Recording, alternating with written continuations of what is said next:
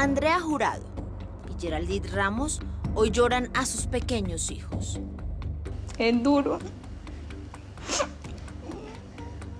Mi única hija en este momento. Y...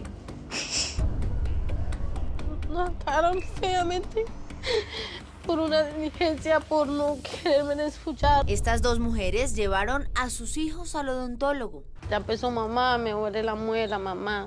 Cuando tenía como cuatro dientes, cinco dientes, no se le veían blanquitos, sino como un tono más, más clarito.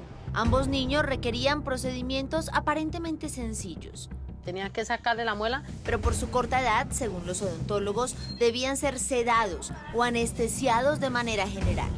Y lo acostamos en la cama y el man empezó a, a forzarlo porque ahí se ve cuando le hace fuerza para ponerle la máscara al niño.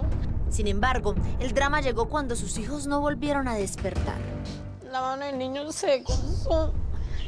Yo decía que nos llevaron a un hospital y ellos decían que era el drama. El doctor me dice que, eh, señora Yardín, le tenemos que decir algo, no se vaya a asustar, siéntese, que la niña entró en paro. Hoy las familias de estos dos pequeñitos aseguran que hubo negligencia médica. Tengo a mi hijo en un hospital tirado y nadie me quiere responder ni me dice nada ni qué pasó. A ellos no les importa porque no es su hijo, no es alguien de su familia que les duele a uno. ¿Qué responderán los odontólogos y anestesiólogos a cargo de los procedimientos? ¡Queremos justicia! ¡Queremos justicia!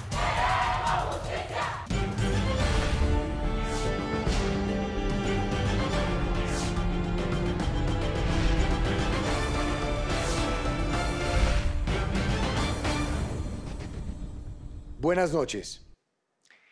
Nadie pensaría que extraer una muela o un diente de un niño podría terminar en una tragedia. Son procedimientos odontológicos muy sencillos. Sin embargo, en los pacientes más pequeños a veces son más difíciles de, realizar.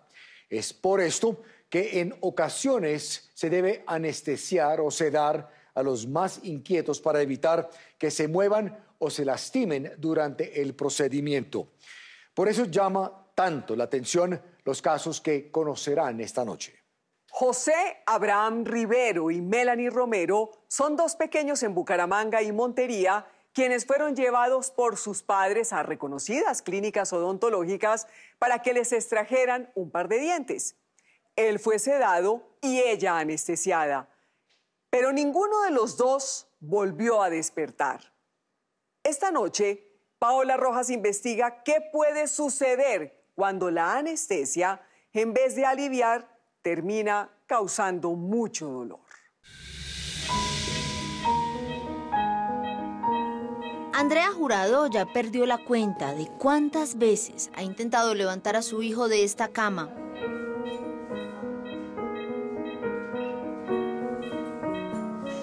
Hasta ahora, todo ha sido en vano ni las palabras de amor.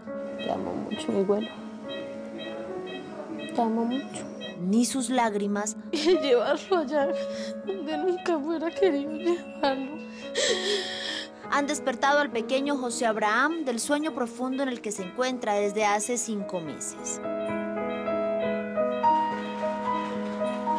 Sin embargo, sin falta, Andrea sigue cumpliéndole la cita a su hijo diariamente. ¿Usted no dice que eche? ¿Usted no dice que eche? ¿No? Pero este pequeñito, quien hoy depende de todo este equipamiento médico para sobrevivir, ¿no siempre fue así? Oiga. Lo llevé para que me le sacaran la muelita. José Abraham fue sedado en medio de un procedimiento odontológico, pero nunca más volvió a despertar el cerebro del niño empezó a inflamarse, después se esperaron, le hicieron otro tal, el cerebro del niño estaba muy inflamado. Y hoy su familia busca respuestas sobre lo que ellos consideran una negligencia médica. ¿Que ¿Por qué me hicieron esto? ¿Por qué no, por qué no me hicieron caso cuando le decía que lo trajéramos? ¿Por qué me decía que eso era un drama lo que yo estaba montando? José Abraham Rivero Jurado, o Pepita, como le decían sus padres, nació en Bucaramanga el 20 de febrero de 2018. No hay palabras para eso. Lo más deseado en mi vida era un hijo.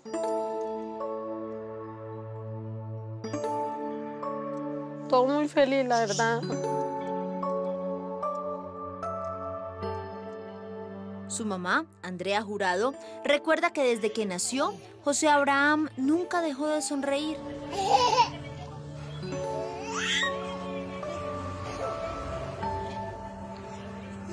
O sea, era como, como una iluminación en la casa. Y mis papás llegaban, ellos trabajan en la plaza y, y siempre que los veía llegar, él salía corriendo y, y decía que la Pepita. Siempre era así, cariñoso, juguetón. Le gustaba mucho la piscina, siempre o el parque. Era el consentido de la familia.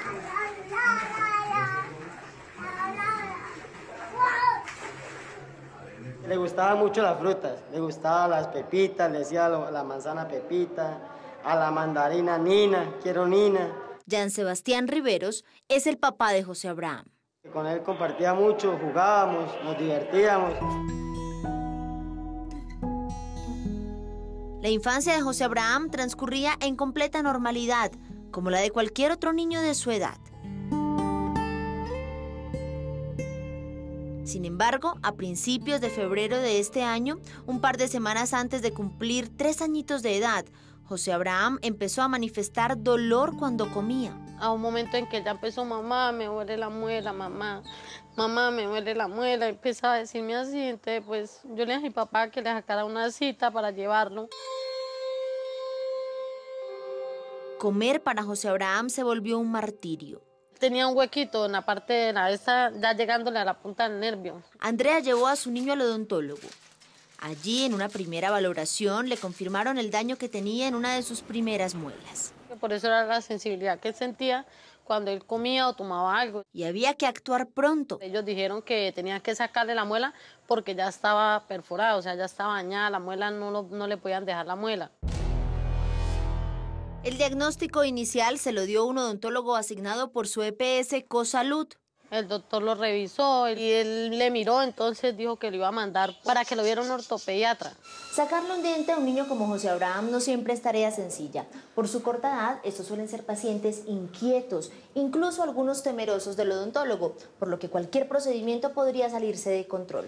Por eso existen los odontopediatras, que son odontólogos convencionales, pero especializados en el manejo de niños. Se evidencia en la historia clínica, José Abraham era considerado un paciente de difícil manejo, por lo que debía ser valorado y tratado por un odontopediatra.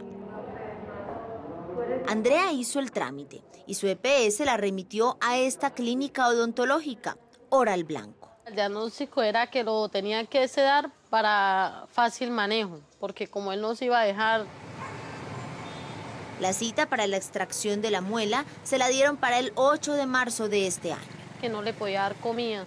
Yo no le di nada de comida. Llegamos al blanco y como a las 12, esperamos como dos horas. Según Andrea, a José Abraham lo hicieron seguir al consultorio hacia las dos y media de la tarde. ¿A usted le explicaron, Andrea, cuando trajo a José Abraham, que el procedimiento se lo iba a hacer un odontólogo o un odontopediatra? Nada, ellos no se presentaron, ellos cogieron a mi hijo, cogieron a mi hijo, yo lo cogí, me, me llamaron a mí, yo cogí a mi hijo y nos entramos y él le puso la máscara. Tal como consta en la historia clínica de José Abraham, la extracción de su muela estuvo a cargo de la odontóloga Daisy Lorena Niño Ferreira y del anestesiólogo Miguel Flores Rueda. Cuando el, el doctor me dijo que entrara, yo entré a mi hijo, yo entré al niño y el, el niño empezó a llorar. En este video, grabado por Andrea, se ve el momento en el que empieza la sedación de José Abraham.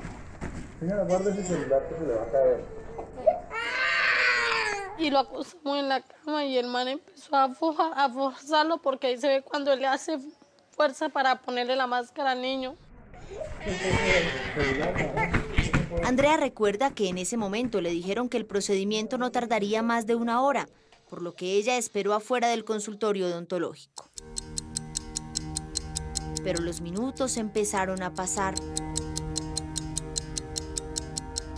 Y José Abraham nada que salía del procedimiento.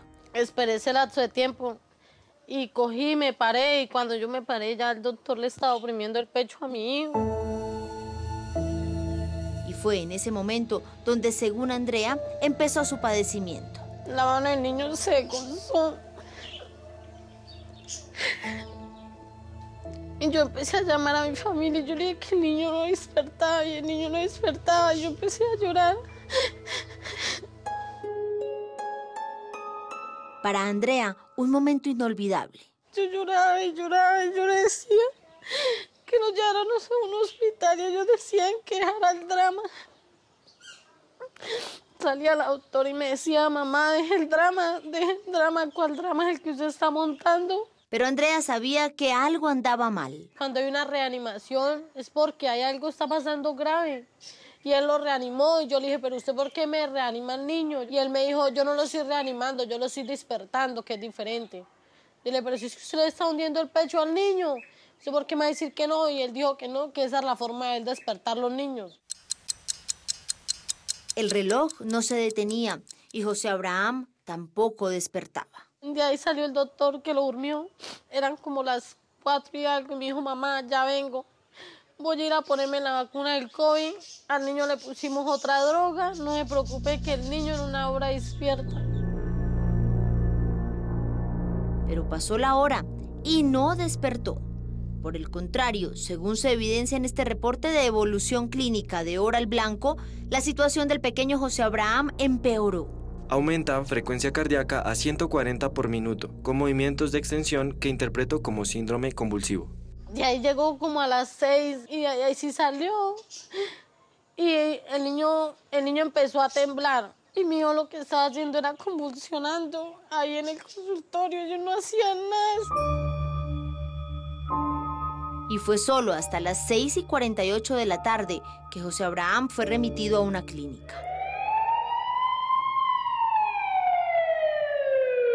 ya vieron que lo que estaban haciendo ya no, no les iba a dar que eso y pues ahí sí me dijeron, mamá, el niño ah, después de que le sacamos la muela, el niño tuvo un problema donde hizo un paro respiratorio. Nosotros hicimos todo, que tranquila, que eso, que el niño va a quedar tomando droga uno o dos años. En un primer momento, a José Abraham lo trajeron a esta clínica, la San Luis de Bucaramanga. pero debido a su complicado estado de salud fue nuevamente redireccionado al Hospital Internacional de Colombia, uno de los centros médicos más modernos del departamento de Santander. José Abraham llegó con una alteración de su estado de conciencia. Frank Cerrato fue el médico que recibió a José Abraham en la noche del 8 de marzo de este año. Es pediatra intensivista del Hospital Internacional de Colombia. Él llega en, en condición crítica, inconsciente, conectado a ventilación mecánica y requiriendo reanimación con líquidos y algunos soportes de medicamentos para lograr mantener su función cardíaca y su función respiratoria. En cuestión de horas, José Abraham pasó de ser un pequeño juguetón y sonriente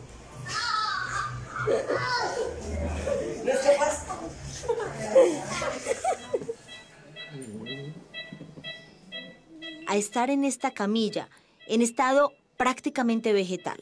Después de que logramos la estabilidad y resolver la situación de las convulsiones, evaluamos su condición neurológica y se observa que tiene una lesión importante, muy significativa, posiblemente por falta de oxígeno o por el estado de shock severo en el que ingresó.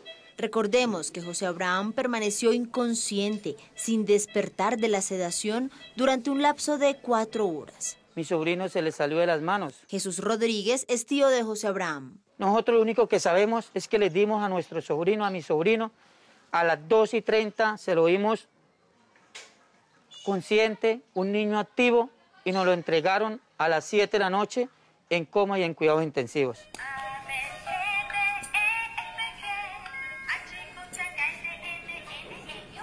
Desde aquel 8 de marzo, José Abraham no despierta. A veces abre sus ojos, pero no responde ante ningún estímulo. Se tiene que hacerle todo a José Abraham. Y darle así todo, respiración, bañarlo, cepillarlo. Él a veces abre los ojos. Sí, él abre los ojos, a veces se mueve. El médico lo único que sabe es ponerle meses, días. Que, que lo único que me toca esperar es que el niño se muera.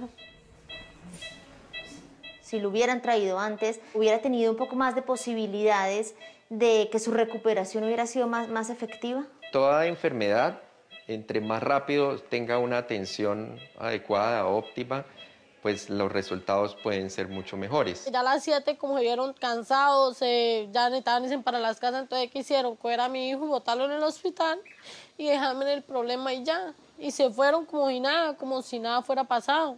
Porque ellos sí esperaron todo ese tiempo para ir y sacarlo. Ellos los han buscado, les han dado alguna explicación de qué fue lo que pasó con el niño, por qué reaccionó hacia la, a la sedación. No, nada, ellos no nos han dado ninguna explicación. Como si fuera un animalito, como si fueran matado una planta. O sea, no tienen ni escrúpulos, ni mucho menos humanidad. Que el daño cerebral fue muy grande por las convulsiones, por todo el tiempo que mi hijo no respiró. Lo que yo estoy viviendo no se lo deseo a ninguna madre. ¿Qué explicación darán la odontóloga Daisy Lorena Niño Ferreira y el anestesiólogo Miguel Flores Rueda, quienes estaban a cargo de extraerle la muelita a José Abraham? ¿Será que la odontóloga Daisy Lorena Niño Ferreira y el anestesiólogo Miguel Flores Rueda podrán explicar lo que le sucedió al pequeño José Abraham Rivero? A partir de este momento pueden opinar con el hashtag numeral sedación.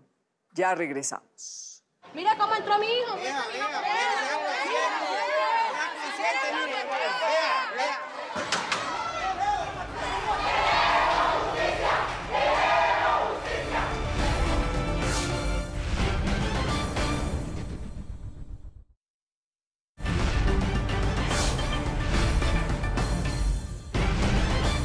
Andrea Jurado y Jan Rivero siguen sin entender por qué si su hijo José Abraham Rivero solo necesitaba que le sacaran una muela, hoy se encuentra inconsciente y con muy pocas posibilidades de sobrevivir. Séptimo día los acompañó a pedirles explicaciones a los médicos que estuvieron a cargo de su procedimiento dental. Ahora sabrán qué respondieron. Pero también conocerán el caso en Montería de Melanie Romero Ramos, una niña de tan solo cuatro años quien sufrió un paro cardíaco minutos después de un procedimiento dental en el que recibió anestesia general. ¿Qué tendrán de similar las historias de José Abraham y Melanie?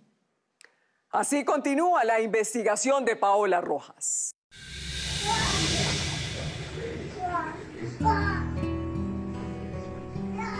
Este era José Abraham Rivero Jurado hace cinco meses. A sus tres añitos de edad, Pepita, como le decían sus papás, era la alegría de la casa. Pero lastimosamente del niño travieso, pícaro y lleno de vida, solo quedan los recuerdos. Desde hace cinco meses, exactamente desde el 8 de marzo de este año, José Abraham permanece en esta cama, inconsciente. Respirando gracias a los médicos y al arsenal de máquinas que lo rodean. Saber que ese día me dañaron mi vida, me la cambiaron. Su mamá, Andrea Jurado, lo llevó a la clínica Oral Blanco para que le sacaran una muelita. Tenía que sacarle la muela porque ya estaba perforada, o sea, ya estaba dañada, la muela no, lo- no le podían dejar la muela. Sin embargo, por tratarse de un paciente inquieto por su edad, a José Abraham lo sedaron completamente para el procedimiento. Pero desde ese momento no volvió a despertar. Y yo miraba a mi hijo, mi hijo estaba ya morado. Yo le decía, ¿por qué no lo sacamos? ¿Por qué no lo sacamos? Yo me encontraba sola. Ellos decían que no, que el niño estaba bien, que el niño está bien, lo repetían y yo, pero ¿cómo va a estar bien? Mi hijo ya lleva dos horas y no despierta, mi hijo no está bien. Y el daño cerebral que sufrió José Abraham fue irreparable. Que sea la voluntad de Dios porque él no puede hacer nada. Solo queda esperar en él. Andrea y su esposo llevan cinco meses esperando una respuesta para entender qué sucedió y por qué su hijo hoy está así. Teniendo en cuenta la historia clínica, hemos encontrado muchas irregularidades. Sandra Severiche Oviedo es la abogada que representa a los papás de José Abraham. Y para ella, ora el blanco. La odontóloga Daisy Lorena Niño Ferreira y el anestesiólogo Miguel Flores Rueda tienen muchas respuestas por dar. Al menor José Abraham Rivero, de tres años de edad, se sometió a un procedimiento o a un tratamiento quirúrgico bajo sedación general o anestesia en un consultorio odontológico, sin tener eh, en cuenta los diferentes riesgos que esto acarrea. Y es justamente este el primer punto que para la abogada Severiche se hizo mal. La misma norma prohíbe la realización de ese tipo de procedimientos en un consultorio odontológico. Y precisamente eh, lo prohíbe porque por el alto riesgo de, de la anestesia en los pacientes. Pero esta, para la abogada Severiche, no fue la única irregularidad en el procedimiento odontológico de José Abraham. Recuerdan que según la orden del primer odontólogo, el niño debía ser atendido por un odontopediatra. El niño fue valorado por una especialidad o por un profesional que no tenía la competencia. Si ellos sabían que lo que, lo que mi hijo necesitaba no lo podían brindar, ¿para qué lo brindaron? Que el niño fue sometido a un procedimiento eh, con un alto riesgo, como es la sedación general, sin la realización de paraclínicos previos. Sabemos que la pertinencia en cuanto a si se le debieron haber ordenado o no, la tendría en este caso el especialista que atiende al menor. Pero esto no es todo. En esta cadena de posibles irregularidades hay un detalle más. El anestesiólogo Miguel Flores Rueda no trabajaba directamente con oral blanco. La IPS que realiza el servicio de acuerdo a la historia clínica es la IPS AFQSAS, anestesia fuera de quirófanos. Institución representada legalmente por el anestesiólogo Miguel Flores Rueda. La norma exige que cuando se tiene el servicio de anestesia habilitado debe contar con el anestesiólogo. En ningún momento eh, le da la posibilidad de subcontratar el servicio.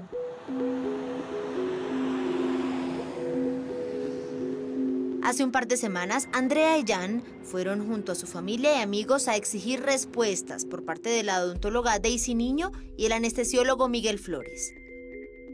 Llegaron hasta el edificio en el que se encuentra ubicada la clínica odontológica Oral Blanco, en el norte de Bucaramanga.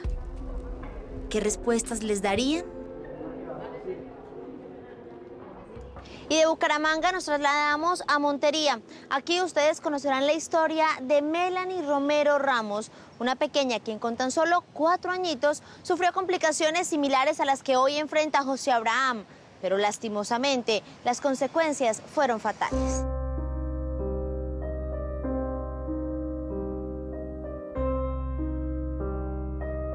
La extraño bastante. No hay un día que uno no piense en ella. Todos los días se levantaba, dormí bien, mami, así. Te quiero, te amo. Para Geraldine Ramos y Jesús Romero es inevitable pensar que si su niña siguiera viva, hoy tendría siete añitos. Mi niña siempre fue muy inteligente. Todavía no estaba en el colegio y sabía las vocales, los números, se sabía los días de la semana, los colores. Ha sido bastante difícil porque realmente ella era una niña que nos brindaba mucho amor. Melanie Romero Ramos tenía cuatro años cuando falleció. luego de sufrir complicaciones en un procedimiento odontológico con el que se le pretendían extraer varios dientes dañados. Cuando tenía como cuatro dientes, cinco dientes, no se le veían blanquitos, sino como un tono más, más clarito. Y un día yo me quedé viéndole los dientecitos, ya tenía más dientes, y le vi unos huequitos en la parte de atrás de los dientes. Para ese momento, Melanie tenía aproximadamente año y medio de nacida. Yo le comenté a la doctora, le miró y me dijo, todavía está pequeña y no se va a dejar en manipular por, por una odontóloga. Entonces vamos a esperar que un tiempecito y le saca la cita para ver. Le mandaron un sulfato ferroso. Pero con el paso de las semanas el problema fue avanzando y apareció el dolor. Ella no podía comer, ella mantenía su carita hinchada. Luz Miriam Ramos es tía de Melanie. Sufría ella y sufríamos nosotros porque ella no podía comer. Solamente le damos líquidos, pero de igual manera eso no es lo mismo, no era una buena alimentación. Melanie tenía aproximadamente dos años, los dientes se fueron deteriorando tanto que se empezaron a caer. Podía ser descalcificación. Prácticamente eso fue lo que me dijeron. Y según recuerda Geraldine, durante varios meses fue de odontólogo en odontólogo, buscando ayuda para el problema dental de Melanie. Le hacían los procedimientos, la limpiaban, le calzaban.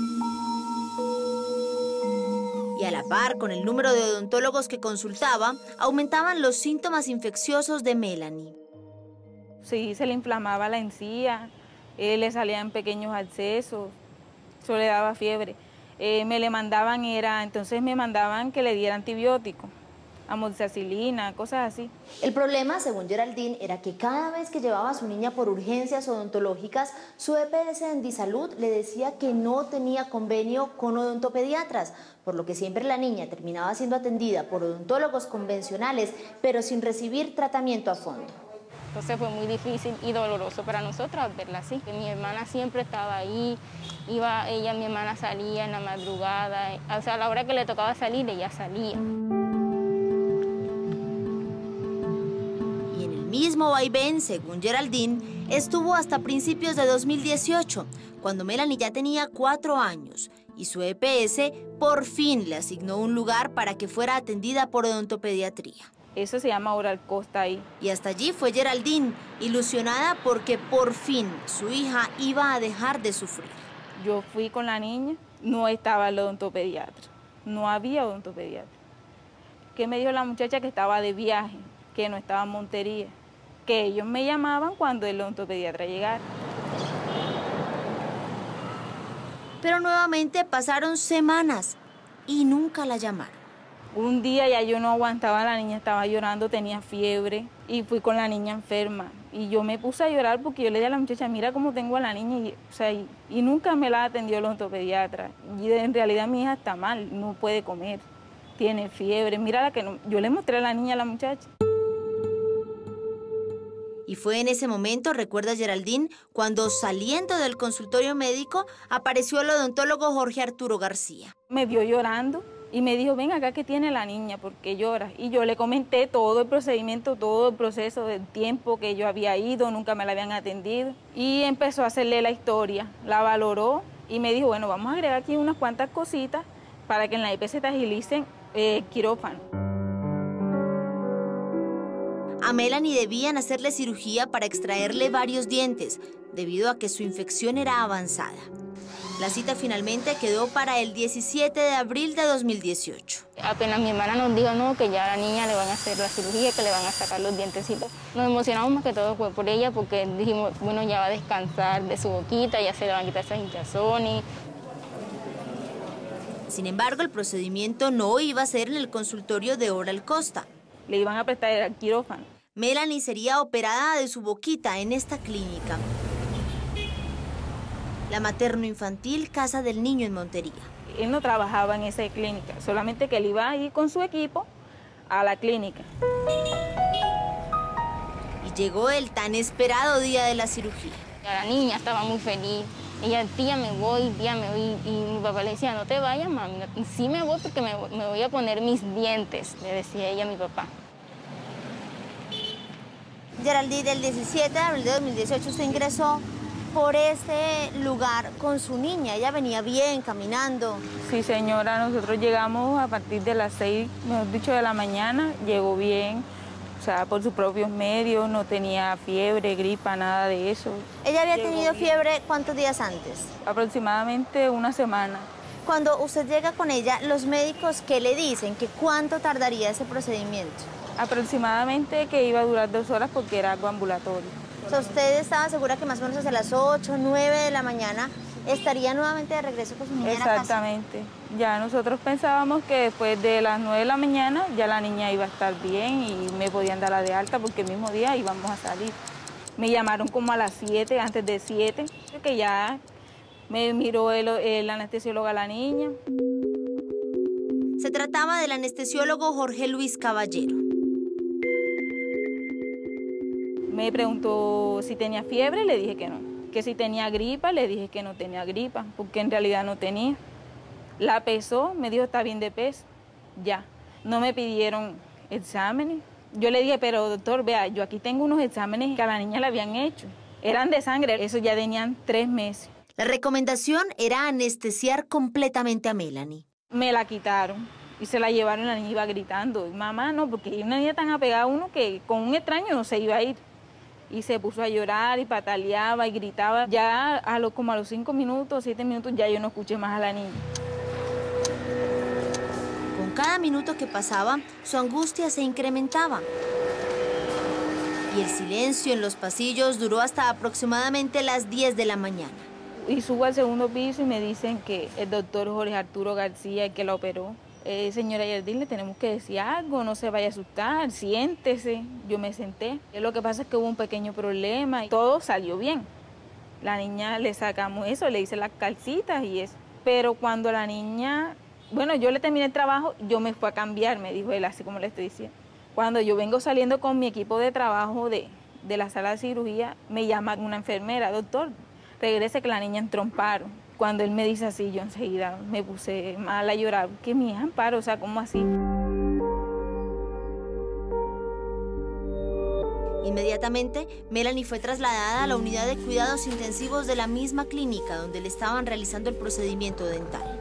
¿Usted pudo verla? Sí, y la niña, o sea, iba moviendo la cabeza y se le salían las lágrimas. Yo la agarré las manitos y me apretó la mano dos veces. Fue lo único que hizo mi hija. Desde ahí usted nunca volvió a ver a su hija despierta. No, ella no despertó más.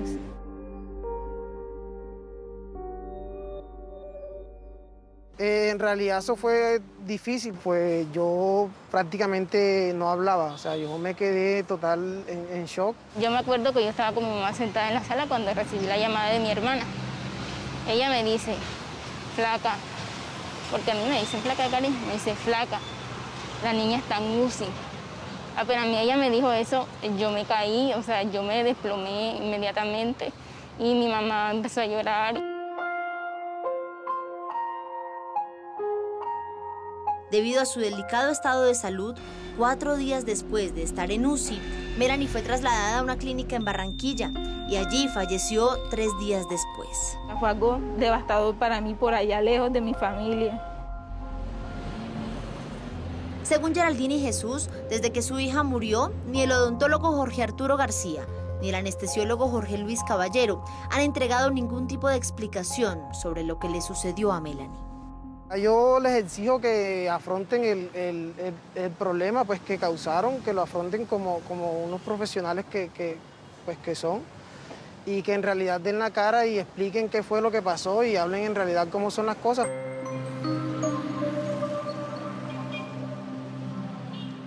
Y en busca de respuestas, hace un par de semanas Geraldine y Jesús fueron hasta el consultorio del odontólogo que atendió a Melanie.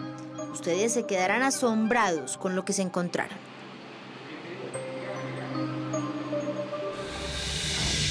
Geraldine y su esposo fueron a buscar al odontólogo Jorge Arturo García, quien estuvo a cargo de la extracción de los dientes de la pequeña Melanie.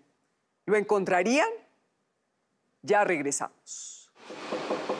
Doctor Jorge, salga un momento, por favor, atiéndanos. A ellos no les importa porque no es su hijo. No es alguien de su familia, que les duele a.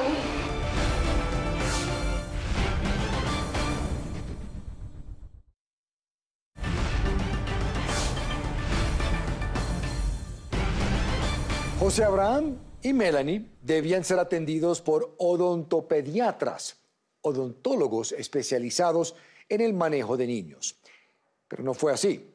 Sus procedimientos dentales fueron realizados por odontólogos con otras especialidades, acompañados por anestesiólogos, pero ninguno de ellos volvió a despertar luego de ingresar al procedimiento.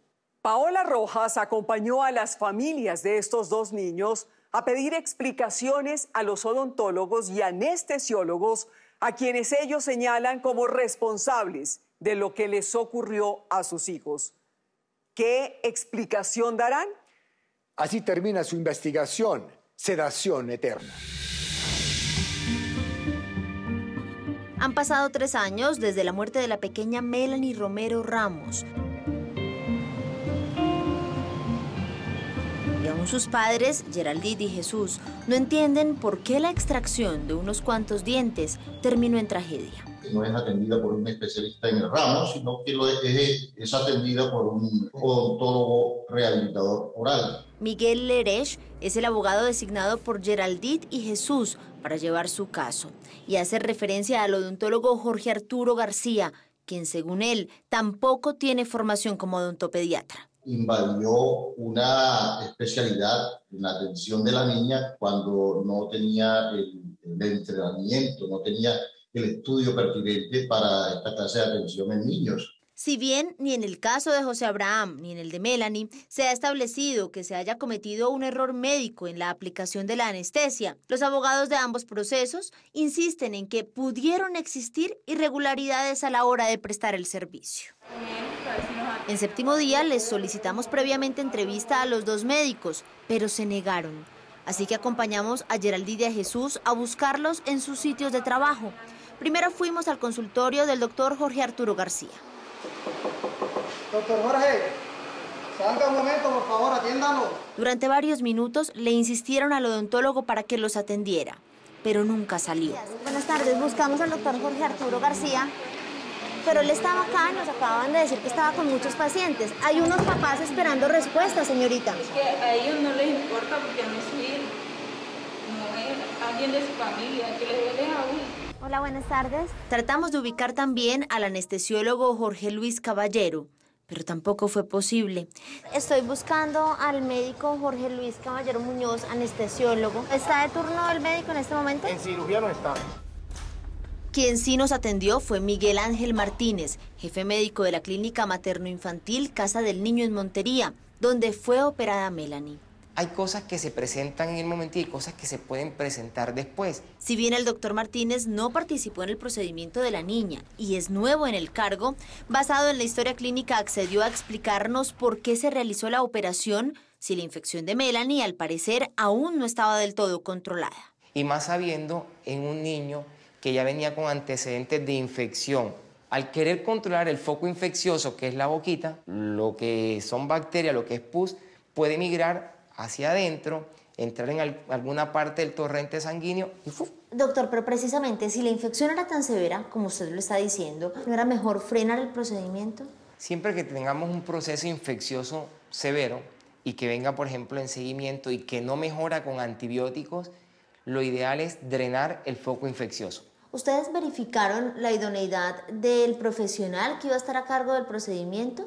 Previamente nosotros hacemos el análisis de quiénes son los que van a venir a utilizar los quirófanos y efectivamente se vigila el médico que hizo el procedimiento, si legalmente se encuentra eh, certificado en el reto. ¿Y no se dieron cuenta que este odontólogo no era precisamente especialista en pediatría? Hay de pronto estados de, que no dependen directamente de la clínica, que en este caso lo asigna directamente la EPS que tenía el paciente. Lastimosamente para Geraldine y Jesús, la EPS en Disalud está en liquidación. Pero entonces, ¿qué respuesta le dan ustedes como clínica, doctor, a una mamá que aún hoy no sabe por qué su niña está muerta?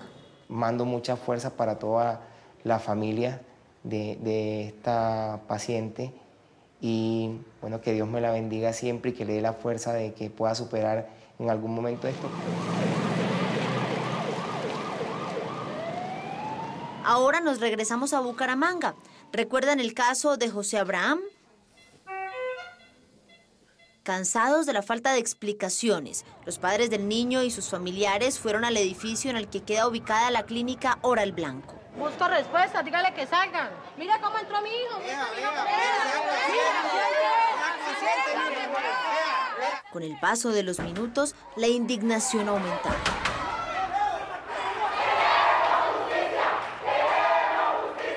Querían explicaciones de la odontóloga Daisy Niño o del anestesiólogo Miguel Flores.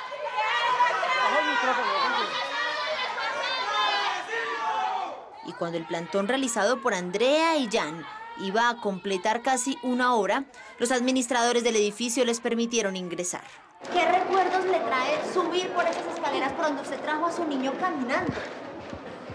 Que no me va a traer sin saber que fui yo la que lo traste porquería de consultorio. Durante cuatro meses, Andrea y su familia han buscado insistentemente respuestas de la clínica Oral Blanco, el lugar a donde trajeron a su niño José Abraham para que le fuera extraída una muelita y del que nunca volvió a salir despierto. Pero desde el primer día en que eso les ocurrió, lo único que han encontrado son puertas cerradas. No es justo, la verdad, que yo hayan hecho eso con mi hijo así. Todo lo que yo tengo que ver es llegar a encontrar a mi hijo en una cama tirado. Vía chat, la odontóloga Daisy Niño nos dijo que no podía referirse al tema.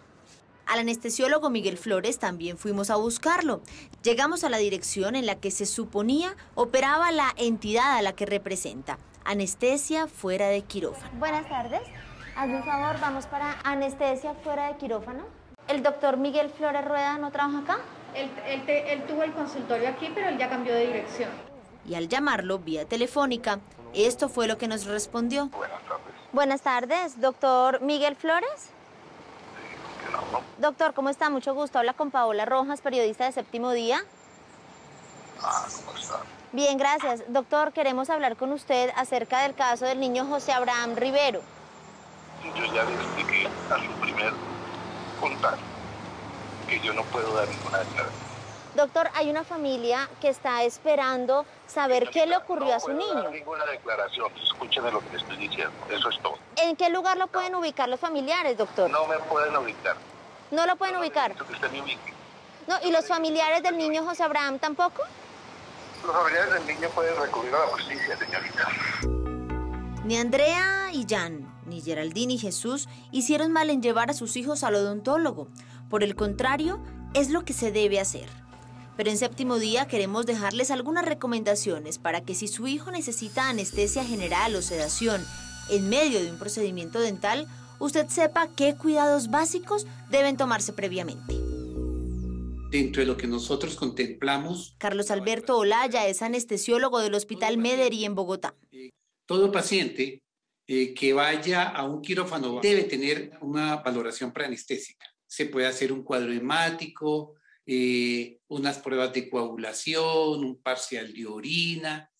¿Cuánto tiempo anticipado? Pues el tiempo, obviamente, que sea por lo menos unos tres o cuatro días de realizar el procedimiento. Recomendaciones que sin duda hubieran querido saber antes los papás de los niños que ustedes conocieron hoy. En el caso de Melanie, sus padres ya no pueden recuperarla. Esa peladita para mí era todo. Pero ahora alistan una demanda de responsabilidad civil médica contra quienes ellos consideran que deben explicar por qué murió su hija. En lo que respecta a José Abraham, las cosas son un poco diferentes. Todos en casa esperan que algún día pueda levantarse de esta cama. Y yo lo prometí que hasta que él no volviera, no, no volvía a llenar esto. Y así está. Su tío confía en que pronto verá a su sobrino así, como hace unos meses.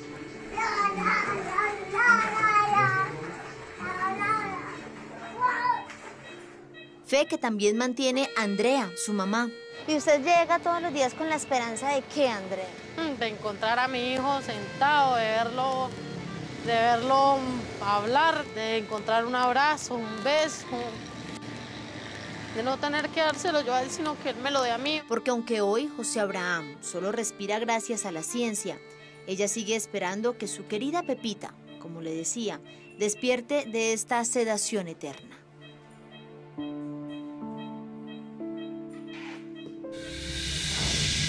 Los padres de José Abraham y Melanie esperan próximamente entablar demandas de responsabilidad civil médica en contra de los odontólogos y anestesiólogos mencionados por ellos en esta nota. Sus abogados están a la espera del resultado del peritaje para determinar si hubo errores en el procedimiento. Antes de aceptar que su niño sea anestesiado o sedado de forma general, asegúrese que sea atendido por un odontopediatra y que hayan agotado además todos los procedimientos previos necesarios para minimizar cualquier riesgo. Ahora un avance de lo que les tenemos preparado para el próximo domingo, el séptimo día. El sueño de más de un colombiano, tener casa propia. Y vemos la posibilidad de poder iniciar un proyecto familiar en donde todos trabajemos juntos para lograr vivir eh, como vecinos. Mi esposa quedó nuevamente embarazada, entonces dijimos, no, toca comprar un apartamento porque ya vamos a hacer cuatro. Años de esfuerzo y trabajo para conseguirla. Yo trabajé alrededor de unos 10 años allí, pues optamos por comprar una vivienda. Tener que trabajar tremendamente duro, hacer muchos esfuerzos financieros para poder pagar cuota a cuota del, del, crédito con el que se pagó la casa. Pero cuando parecía un sueño hecho realidad... Fui a abrir mi propiedad, y, la chapa que, que, yo tenía pues no era la misma. Y pues cuando sale la señora Noelia Cruz Bernal de mi casa, yo, pero ¿cómo así si soy la propietaria? Ella no tiene por qué estar ahí. No, no entiendo cómo puede ser posible que una persona venda un bien, reciba el 100% del dinero, pero se niega a entregar el bien no, y nunca entregar la casa que, que hoy habita. O sea, eso ha sido muy tormentoso porque tú sabes que que un papel diga que tienes casa y que yo donde estoy aquí sufriendo, pagando arriendo con miles de cosas mientras esa casa era nuestro sustento. Ella ha impedido que nosotros pongamos un solo pie dentro de la propiedad, nunca lo hemos puesto, no sabemos en qué estado está. Y como si todo esto fuera poco, esta señora está viviendo gratis a costillas nuestras mientras nosotros fondeamos la cantidad de costos que genera, que genera esta casa. Todas estas familias aseguran que mientras viven en arriendo, sus casas están en manos de invasores. Veníamos a preguntarle si esta casa donde usted vive es suya o es de quién. Soy Mariana Duarte y el próximo domingo en séptimo día les contaré la historia de estas familias colombianas que aseguran que tienen casa propia, pero solo en el papel. Si tiene una historia que contar o una denuncia que hacer, escríbanos en la dirección que aparece en pantalla.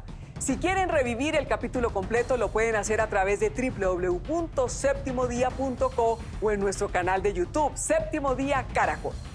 Gracias por acompañarnos. Nos vemos el próximo domingo en la próxima edición de Séptimo Día. Hasta entonces.